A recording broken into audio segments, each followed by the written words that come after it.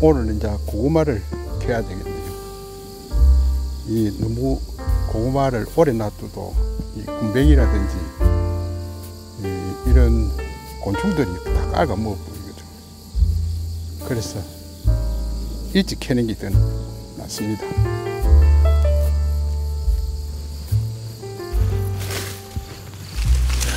이 순치기를 이제 자주 해줘도 이래 잎이 무성하네.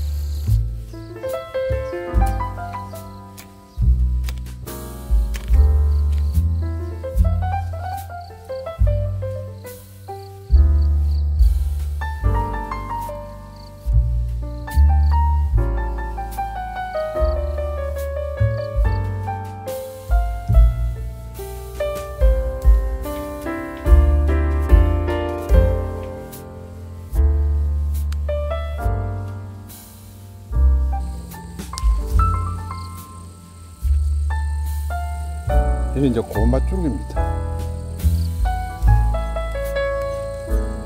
고구마 잎이 무성해가지고 고구마 쪽이가 엄청 많네.